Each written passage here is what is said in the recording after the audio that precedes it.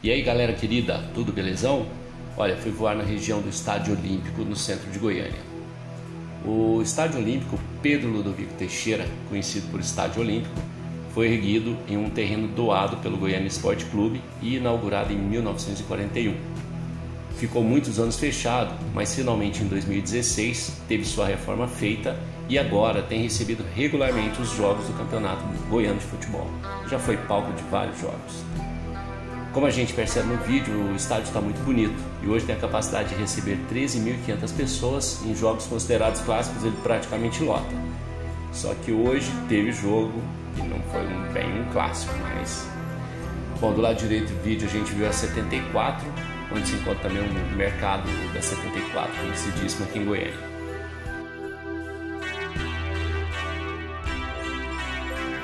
O Estádio Olímpico foi reestruturado para permitir Jogos Olímpicos além do futebol, contendo pistas de marcações oficiais e com uma área propícia para aquela modalidade esportiva.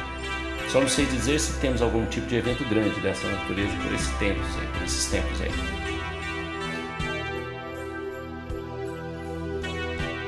Aqui a gente vê a Avenida Paranaíba, que faz a base da Santa no centro de Goiânia. Explico. Devido ao formato que se vê na planta baixa da cidade, a partir da Praça Cívica até a Avenida Paranaíba, tendo como contorno as avenidas Araguá e Tocantins, tem-se no imaginário popular a ideia de Nossa Senhora Aparecida, o que na verdade não era a intenção do arquiteto Atílio Correia Lima.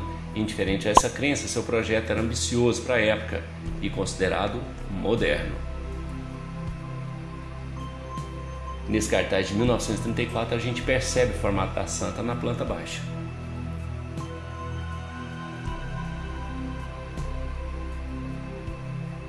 Voltando na Avenida Paranaíba, em direção a Tocantins, uh, a gente chega aqui no Centro de Convenções de Goiânia, que desde a sua fundação em abril de 1994 tem abrigado diversos eventos. Um lugar muito bacana, viu? Para ter evento aqui, todos os eventos aqui são bons, todos. Eu não conheço um que tenha sido ruim. Agora novas imagens do mesmo dia, né? A gente já vai notar algum movimento do estádio.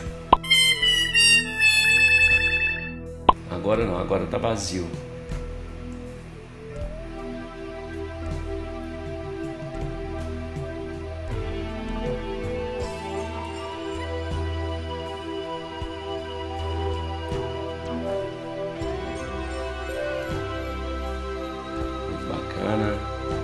Olha só essa aproximação dos holofotes. Muito legal, né? Muito legal. Agora você já vê o movimento lá embaixo. Foi no mesmo dia, jogo entre o Goiânia e o Goianésia, pelo Campeonato Goiano. Série B, se não me engano. Acho que é Série B mesmo. Os times já em campo, preparando para jogar. Agora mesmo a gente vai ter outra imagem bacana também.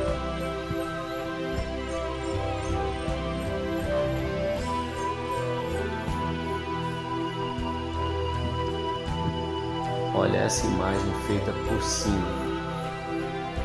Muito bacana. Aí os caras já estão jogando. Olha que legal. Muito bom. Muito bonito.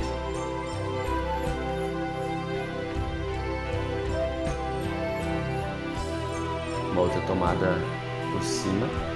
Claro, né? todas estão sendo por cima.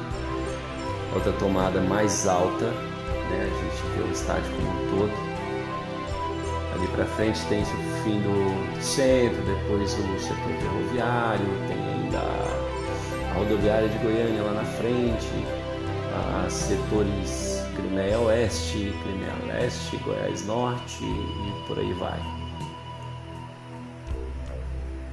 Mais uma tomada do centrão, do Centro Popular de Goiânia. Olha que barato.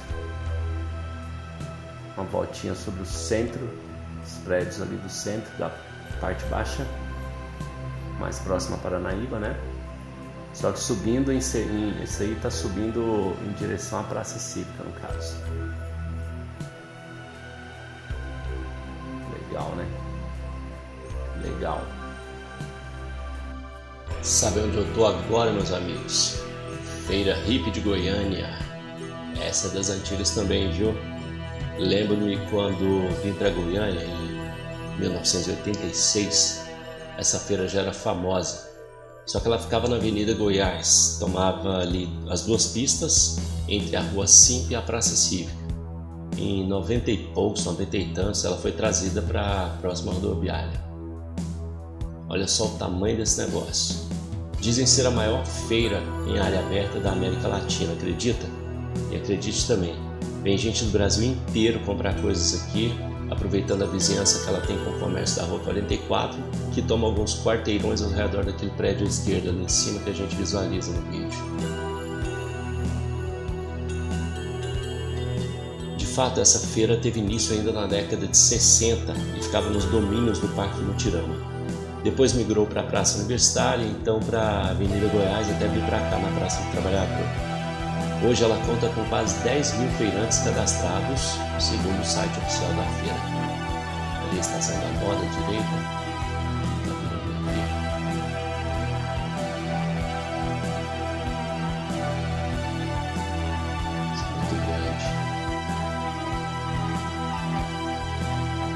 aquele risquinho preto ali sou eu. E a gente agora está passando sobre a antiga estação ferroviária que infelizmente hoje não passa de várias tentativas de transformá-la em um museu ou coisa do tipo. E esse prédio aí na frente é dos vereadores aí. Câmara de vereadores. Uh, rising Up. Mais um projeto da Avenida Goiás, se estende até a Praça Cívica. Uns 100 metros mais ou menos, limite. Olha só o relógio da estação, fazer um approaching. Olha só, opa, opa, opa, opa, passou raspando. Fechou no Leroy Merlin, baita loja.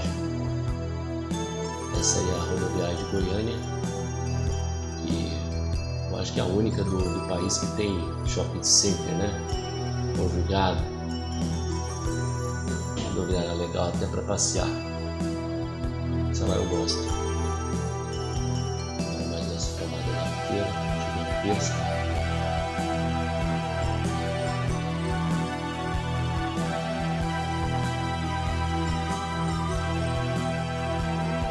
Agora mais um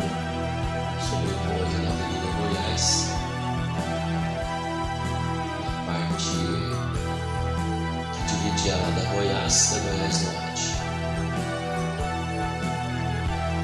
Subidinha pra frente, adiante. E aí na primeira esquina ali, ó. Esse prédio azul, com essas listas pretas que você vê é Universal, prédio Universal, de Deus.